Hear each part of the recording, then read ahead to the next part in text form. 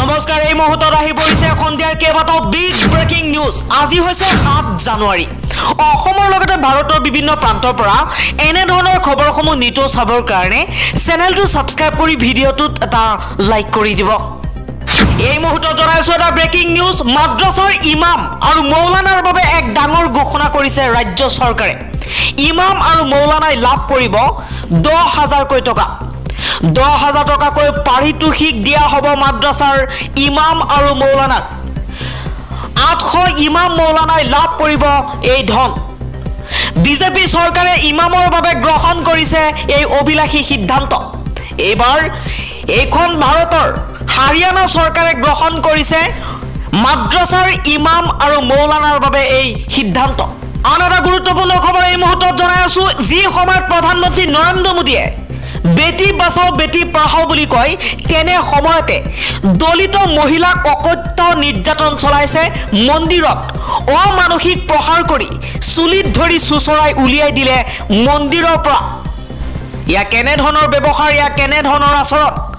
যি সময়ত প্ৰধানমন্ত্ৰী নৰেন্দ্ৰ মোদী কৈ আহিছে যে এইখন দেশত বেটী বাচাও বেটী পঢ়াব লাগিব।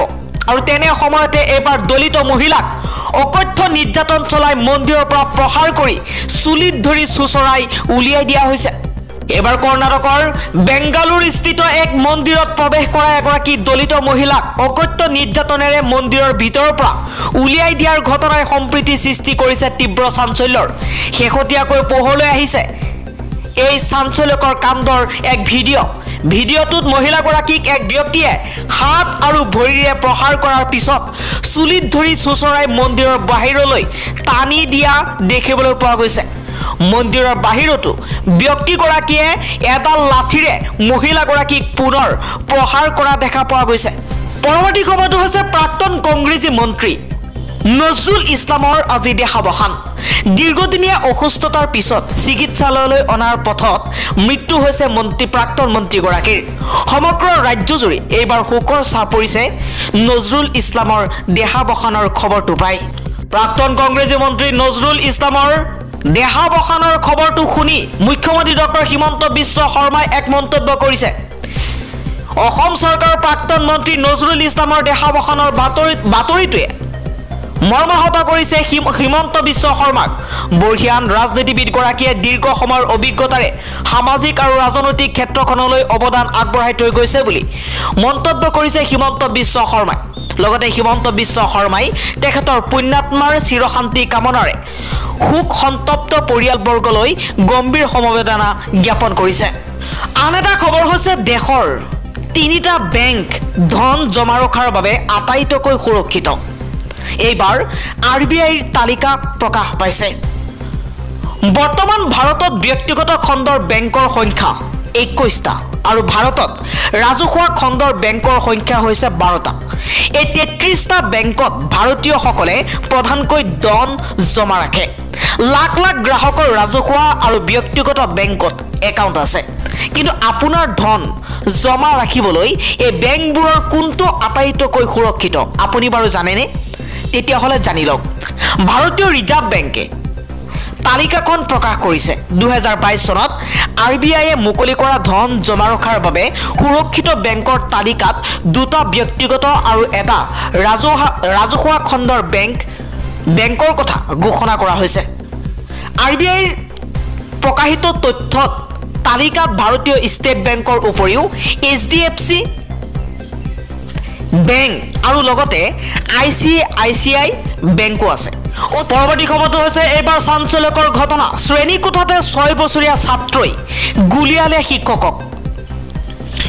এটা গুৰুত্বপূৰ্ণ খবৰ এই মুহূৰ্তত জনাই আছো আমেৰিকা যুক্তৰাষ্ট্ৰৰ পূব প্ৰান্তৰ ভাৰ্জিনিয়া ৰাজ্যত এখন প্ৰাথমিক বিদ্যালয়ৰ শ্ৰেণীকোঠাত ছয় বছৰীয়া ছাত্ৰই এজন শিক্ষকক গুলীয়াই গুৰুতৰভাৱে আহত কৰা ঘটনাই চাঞ্চল্যকৰ সৃষ্টি কৰিছে। পৰৱৰ্তী খবৰটো হৈছে দুবছৰত অসমৰ এহেজাৰগৰাকী হৃদৰোগীৰ চিকিৎসা হ'ব সম্পূৰ্ণ বিনামূলীয়া। আৰ্থিক সংকটৰ বাবে হৃদৰোগৰ চিকিৎসা কৰিব নোৱাৰা ৰোগীসকলৰ বাবে ভাল খবৰ।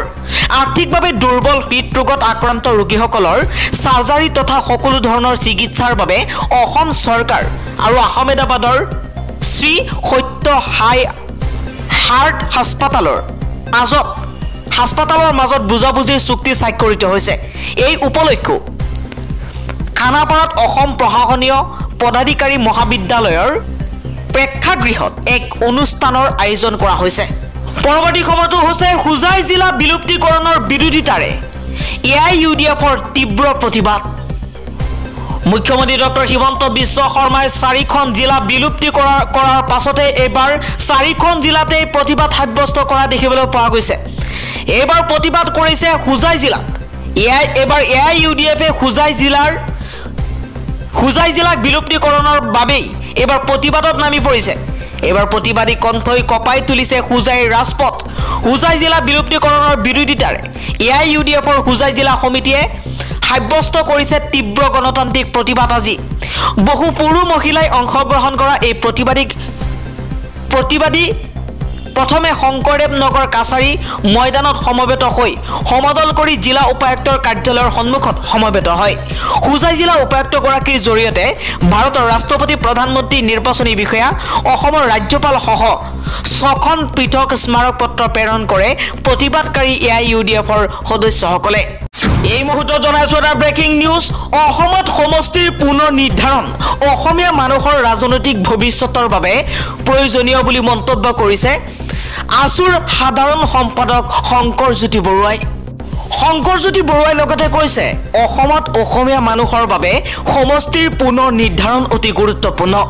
ছাত্ৰ সন্থাই ঊনৈছশ ছিয়াশী চনৰ পৰা সমষ্টিৰ পুনৰ নিৰ্ধাৰণৰ দাবী জনাই আহিছিল। পৰৱৰ্তী পৰ্যায়ত কা আন্দোলনৰ সময়ত ন্যায়াধী বিপ্লৱ কুমাৰ শৰ্মাৰ নেতৃত্বত ছয় নম্বৰ দফাৰ সন্দৰ্ভত প্ৰতিবেদন দাখিল কৰোঁতে সমষ্টিৰ পুনৰ নিৰ্ধাৰণৰ বাবে ইয়াৰ মডেলিটি কিদৰে প্ৰস্তুত কৰিব সেই বিষয়েও উল্লেখ কৰা হৈছিল। অসমত জনবিন্যাস যথেষ্ট পৰিমাণে সলনি হৈছে যাৰ কাৰণে সমষ্টিৰ পুনৰ নিৰ্ধাৰণ অতি প্ৰয়োজনীয় বুলি মন্তব্য কৰিছে শংকৰজ্যোতি বৰুৱাই। পৰৱৰ্তী খবৰটো হৈছে নগাঁও জিলাৰ বটদ্ৰবাৰ বুলডোজাৰ চলোৱাৰ পিছত এইবাৰ চৰকাৰক কঠোৰ নিৰ্দেশনা দিছে গুৱাহাটী উচ্চ ন্যায়ালয়ে। বটদ্ৰবাৰ বুলডোজাৰ চলোৱাৰ পাছতে গুৱাহাটী উচ্চ ন্যায়ালয়ৰ ৰায়ক এইবাৰ ধন্যবাদ জনাইছে নেমচুৰ সভাপতি বদৰুল ইছলামে। বদৰুল ইছলামে কৈছে থানা কাৰো বাপেকৰ সম্পত্তি নহয়। থানা চলোৱা মানুহে চৰম শাস্তি পাব লাগিব। চৰকাৰৰ ভুলৰ বলি হোৱা উচ্ছেদিতসকলে ন্যায় পাব লাগিব। বটদ্ৰবাত বুলডোজাৰ চলোৱাৰ পিছত গুৱাহাটী উচ্চ ন্যায়ালয়ৰ ৰায়ক ধন্যবাদ জনাইছে নেমচুৰ সভাপতি বদৰুল ইছলামে। আন এটা খবৰ হৈছে বানমুক্ত কৰাৰ লক্ষ্যৰে গুৱাহাটীৰ বিয়াল্লিছটা স্থানত চলিব উচ্ছেদ অভিযান। ৰাজ্যৰ বিভিন্ন প্ৰান্তৰ পাছত এইবাৰ গুৱাহাটীৰ বিয়াল্লিছটা স্থানত চলিব উচ্ছেদ অভিযান। এই কথা জানিবলৈ দিছে গৃহ আৰু নগৰ পৰিক্ৰমা তথা জলসিঞ্চন বিভাগৰ মন্ত্ৰী অশোক সিংঘালে। মহানগৰীৰ প্ৰায় বিয়াল্লিছটা স্থানত হোৱা বেদখলক মুক্ত কৰাৰ পৰিকল্পনা কৰা হৈছে বুলি সদৰি কৰে মন্ত্ৰী অশোক সিংঘালে।